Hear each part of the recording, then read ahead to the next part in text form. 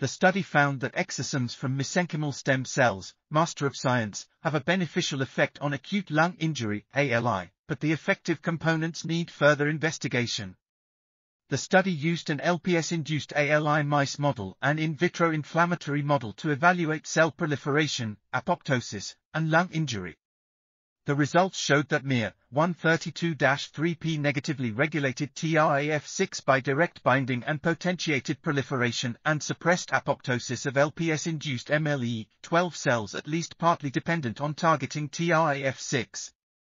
Treatment of exosomes alleviated the LPS-induced ALI in mice and LPS-induced inflammatory response in MLE12 cells, an overexpression of MIR 132-3P promoted the protective effect of exosomes in LPS-induced MLE12 cells injury and LPS-induced ALI. The study suggested that MIR 132-3P mediated the protective effect of MSC-derived exosomes on LPS-induced ALI via targeting TRAF6 and inactivating PI3K AKT signaling. This article was authored by Jianhua Liu, Chen Li, Liang Cao, and others.